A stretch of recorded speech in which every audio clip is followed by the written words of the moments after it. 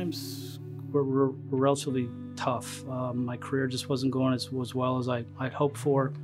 Um, having two kids is is uh, be trying times and, and put a lot of stress on on myself and, and my relationship with my wife and um, and started attending uh, Hoboken Grace um, more regularly. Uh, really started to um, I think Chris and, and um, the other messages that I heard here were, were really meaningful to me and, and really, um, I think, got me to a point where I was ready to recommit. I was always resistant, resistant of, of being baptized. I, I, think it was a, a control thing. Um, I was, you know, uh, half in, so to speak, a little bit.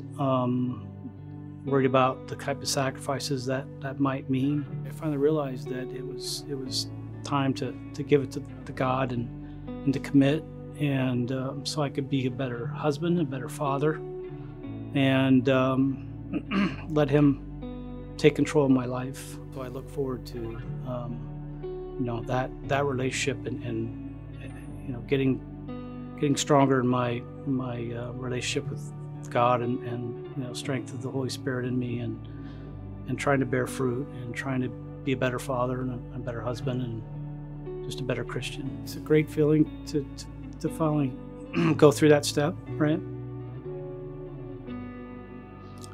But I I there's so much after that that is just as good, if not better, feelings, right? As you as you gain a strong relationship with with God, as you kind of um, understand and, and mature in your in, in your faith um, and and some of the, the, opportunities you get to, to serve and to um, influence others. I think those are those are really good feelings also.